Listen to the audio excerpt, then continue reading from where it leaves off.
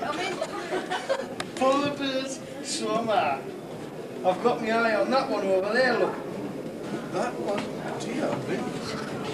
Dear me. I don't want to do Yeah, this.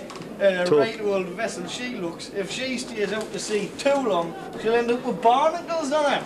Well, it's cheaper than buying a bit from John's. So, mate, how many have you had, like? How many what? You know? What? Ain't. No. Packers fish and chips. Women, man, lasses. Women. Yes, good. Are you pulling? Buzz off, you bloody pest. Now look here, mate. There's no need for that sort of attitude. Come on here.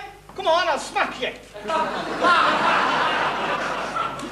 oh, You little bloodsucker.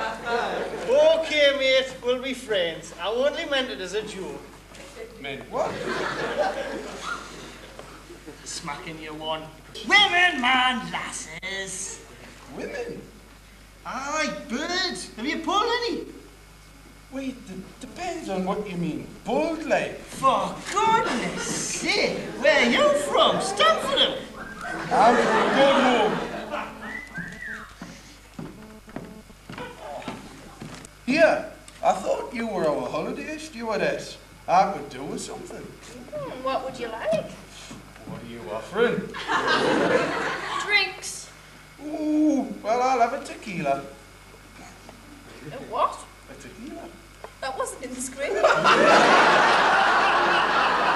Well, I tell you what, I'll have this same, And Nick made a double. and I'll have a triple. what if I haven't got any? Well, just fetch whatever you've got. Scotch, scotch on the rocks. That'll do. What do you want? I'll have this same. On the beach. Uh, Aye, I'll have a scotch on the Okay, I'll just be a minute. I'll fly you to the moon in my supersonic jet. I'll buy you jazzy clothing. We'll join the trendy set.